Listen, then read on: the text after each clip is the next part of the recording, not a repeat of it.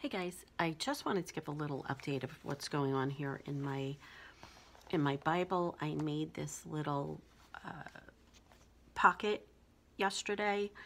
I, well, here's what happened. I needed Bible tabs for this Bible.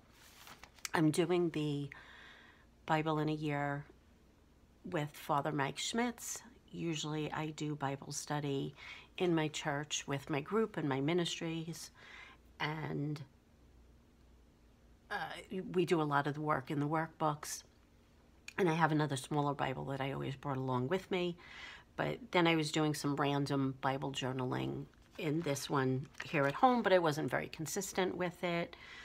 So, you know, now then came 2020 and we were locked out of uh, the church for a while. And luckily, I'm, you know, good friends with uh, the ladies uh, in my ministry, so we were able to get together a few times in the parking lot over the summer or somebody's backyard, socially distanced. And then we, you know, when the weather got colder, we went to Zoom meetings and we did uh, the Advent reflections and the, now we're doing the Lenten reflections with Bishop Barron. So, uh, long story short, I had put aside physical Bible journaling. But then I had traveled to Arizona for a couple of weeks in January to visit family, and I just took a chapter's notebook with me, and everything that I heard on the podcast from Father Mike Schmitz, I transposed in here, and I was doing a little bit of artwork and stuff like that. And I thought I was going to continue to keep doing it that, and then I was just replicating it here. It, you know, it was getting silly. I was doing I was doing it in multiple multiple places and it was just too much. so I tore a bunch of the pages and artwork that I had done in here and added them as tip-ins inside here like um, this one from Exodus when God uh, turns the Nile uh, to blood. That was the beginning of the 10 plagues and what else, what else? What else? What else? Oh, there's baby Moses, because he was this one. baby Moses, uh, just before he was rescued, and down the Nile. Uh,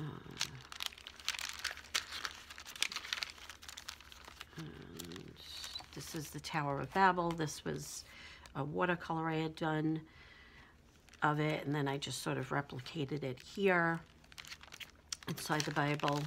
Some other artwork about the um, beginning of creation. Anyway, uh, you know, the, the Bible is full of a lot of darkness and tragedy, and but it's important to learn from that and our history and our ancestry and but I didn't want it to feel that heavy every time I opened it. I, we all know uh, life is tragic and it's yeah, um, but you know it's all the it's also uh, full of love and light. If you read it correctly, you have the right theological teachers instructing you. You know you'll understand deeper and better and get greater meaning from it. Anyway, I'm getting off. This is not about me um, preaching or teaching anything from the Bible. That is not, there are people that do it much better than me. I'm just not articulate enough.